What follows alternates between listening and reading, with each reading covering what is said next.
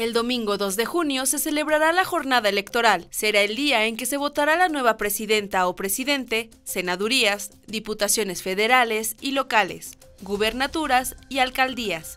Y en medio de la efervescencia de las votaciones, hay una serie de escenarios legales para la fuerza laboral que trabaja ese día, por ejemplo, en tiendas de conveniencia, restaurantes, transporte público, solo por citar algunos ejemplos. El primer aspecto legal laboral relacionado con el día de las votaciones es que esta fecha es reconocida en la Ley Federal del Trabajo como un día de descanso obligatorio. Es decir, las personas no están obligadas a prestar servicios ese día. Como el resto de los días feriados, en la Ley Federal del Trabajo hay posibilidad de que se elabore a cambio de una compensación adicional. Este es el segundo escenario que hay que tener en cuenta. Las personas que laboren el día de la elección tienen derecho a recibir, además de su salario normal, el pago doble de su sueldo por el día trabajado, lo que en términos prácticos se traduce en un pago triple. Pero en esta compensación adicional no implica perder el derecho al voto. La Ley Federal del Trabajo también establece como obligación patronal conceder el tiempo suficiente para que los empleados acudan a las urnas.